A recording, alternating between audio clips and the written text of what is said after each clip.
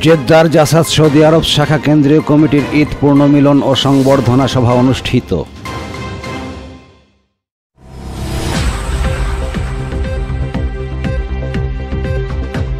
আপনারা দেখছেন প্রবাসী সংবাদ।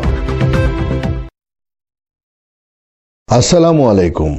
এমকে টেলিভিশনের প্রবাসী সংবাদে আপনাদের আমন্ত্রণ জানাচ্ছি আমি ইফতেখার। শুরুতেই শুনলেন সংবাদ শিরোনাম, এখন বিস্তারিত।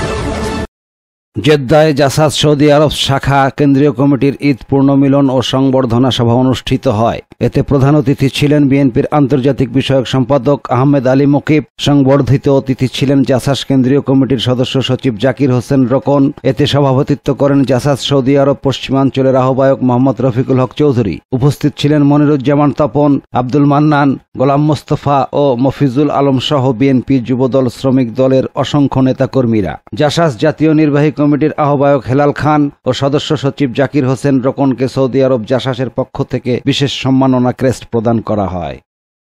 ওহিদুজ্জামান প্রবাসী ডেস্ক, এমকে টেলিভিশন।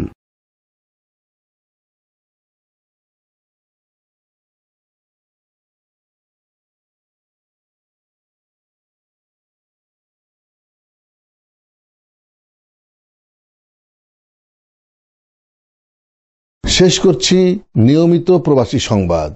এতক্ষণ আপনারা আমাদের সাথে থাকার জন্য অসংখ্য অসংখ্য ধন্যবাদ।